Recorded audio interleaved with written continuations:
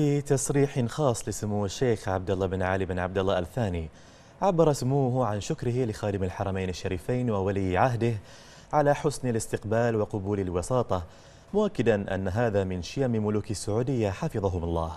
وأشار سموه إلى أن ما وجده من حرص خادم الحرمين الشريفين وولي عهده على الشعب القطري دعاه لطلب تخصيص رقم للاتصال لتسهيل زيارات القطريين لأقاربهم في المملكة العربية السعودية وهو طلب لاقى قبول خادم الحرمين الشريفين حيث أمر جلالته بتخصيص غرفة عمليات خاصة بطاقم سعودي لتولي شؤون القطريين وتكون تحت إشراف سموه في ظل قطع العلاقات.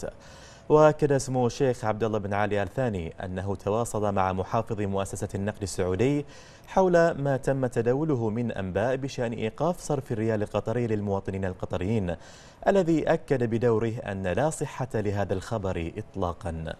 ودعا سمو الشيخ عبد الله بن علي الثاني كل ذي حاجة أو طلب من الشعب القطري الاتصال برقم غرفة العمليات التي أمر بها خادم الحرمين الشريفين